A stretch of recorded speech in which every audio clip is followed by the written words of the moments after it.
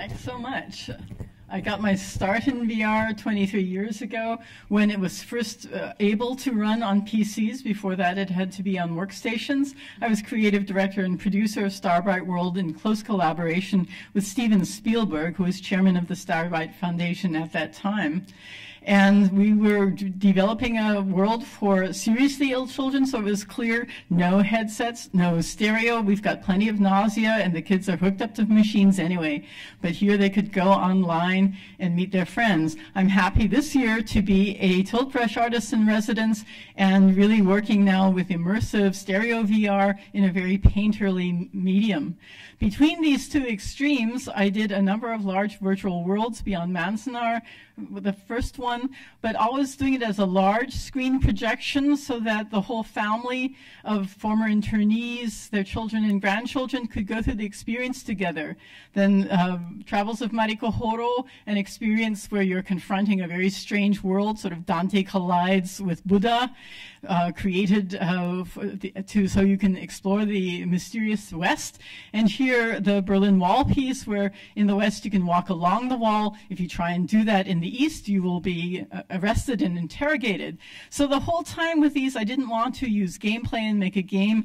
So I looked at narrative and drama theory, but they always talked about how you can only have drama if you focus on the characters and the interaction between the characters. And even in uh, um, first person narrative viewpoint, it's one of the characters talking to the audience. But you know, in VR, it's not the narrative, it's the experiential viewpoint. And character development has to happen in the user. As a designer, you choreograph the user's emotional journey through the experience. And there are a lot of, especially filmic VR, that are using characters where the characters in the uh, piece are interacting with you, the user, as the character. But I personally wanted to create worlds where the drama was happening between the user and the environment. So for instance, if you're climbing a mountain, watching a sunset, you don't always want some character sitting there and yakking in your face and telling you what you should do. So let's look at uh, drama theory.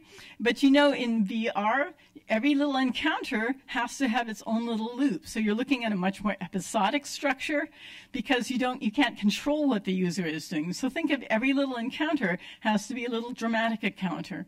And then we can look at, um, music to see how even abstract notes can provoke music, uh, emotions from the music, because you're inhibiting, you can play with the inhib inhibition to a stimulus response.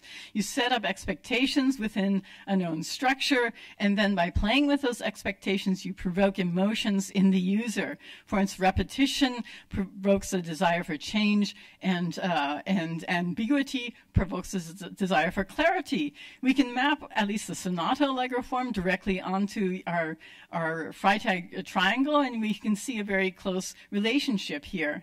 But I also develop uh, theories depending on, on, my father's work in urban architecture, where he was looking at space and sequences of spaces, again, from the viewpoint of an experiential user walking through the space.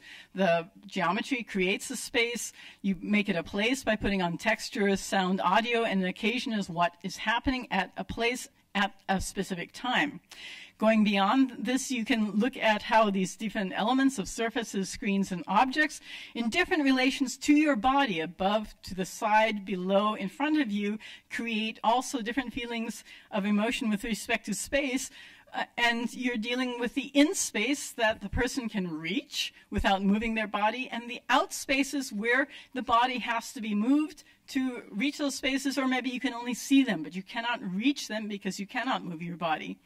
And even so, in all these spaces, it's determined by the place whether or not it is, for instance, comforting or claustrophobic, gives you a sense of freedom or a sense of loneliness, because the place and the occasion can change that. Are you in the prison, in a garden, or a prisoner in a garden. Here's a real world example. You start out, descend into the cut, the, uh, the number of deaths rises, It traps you in this wall with your reflection.